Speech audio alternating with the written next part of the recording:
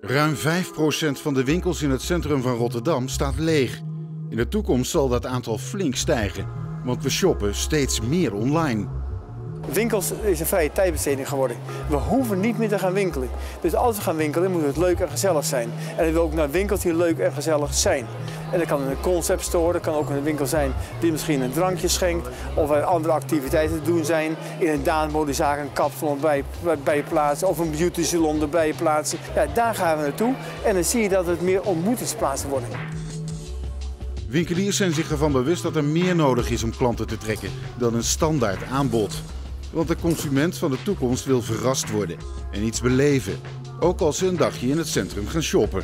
We gaan nu ook onze eigen sieradenmerk eh, starten. Dus eh, ja, ik denk wel dat het nieuwe producten zijn. Ja, want je moet je blijven onderscheiden. Hè? Ja, en ik denk ook als laatste van we proberen wel echt outfits uh, te stylen voor klanten. Ik gebruik ook heel vaak social media in de winkel, dat te laten zien, kijk, dit is een outfit die wij leuk vinden. Uh, dus dat is denk ik wel meer service die je kan bieden als boutique dan ja, een grote keten. Uh, ja, VND was natuurlijk wat oudbolliger. Wij zijn natuurlijk wel een heel stuk jonger qua uitstraling. En we uh, hebben studio's in onze winkel waar we ook jonge ondernemers de kans geven om hun producten te komen presenteren. Dat kan van een dag tot drie weken lang zijn. En dan blijven we ook continu veranderen en ook continu de gasten trekken om naar ons warenhuis toe te komen.